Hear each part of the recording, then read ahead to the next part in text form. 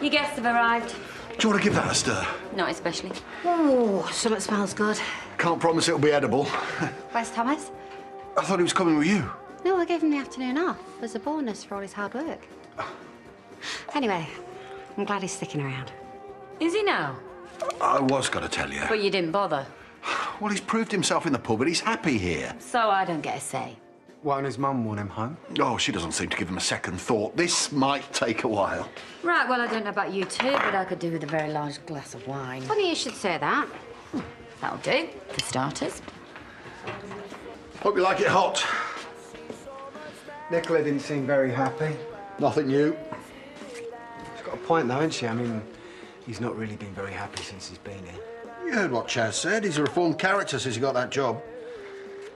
Yeah, but Chas has been trying her hardest to keep him sweet. Are you saying he's still giving her grief? It's probably nothing. Might want to put some yogurt in that, mate.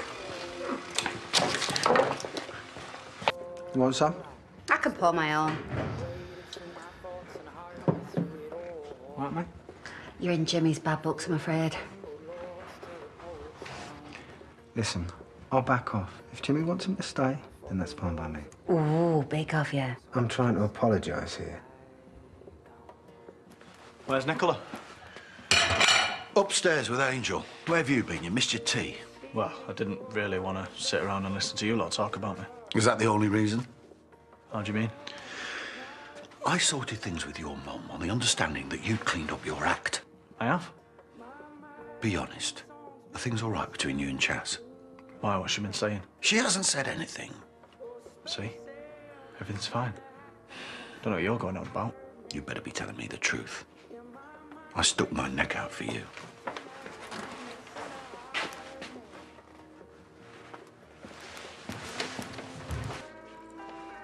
Told you to leave that. Oh, it's a bit unfair that he cooks, washes up and dries. He made his bed.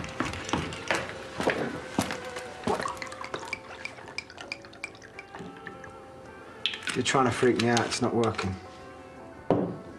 So why have you been mouthing off to Jimmy? I'm happy at the pub and you know it. No, you just think you are. Chas likes me. Is that what's bothering you? What? You fancy your chances, do Don't laugh at me.